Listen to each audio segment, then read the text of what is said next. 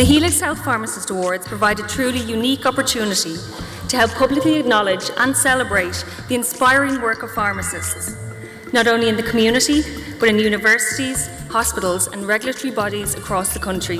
Ladies and gentlemen, and distinguished guests, I'd like to welcome you all to the 2014 Helix Health Pharmacist Awards. I would especially like to welcome tonight's finalists and congratulate them on their nominations. This annual event serves many, many purposes, but perhaps the most important of all is to recognise that dedication and the achievements of pharmacists and to demonstrate that sense of collegiality and togetherness.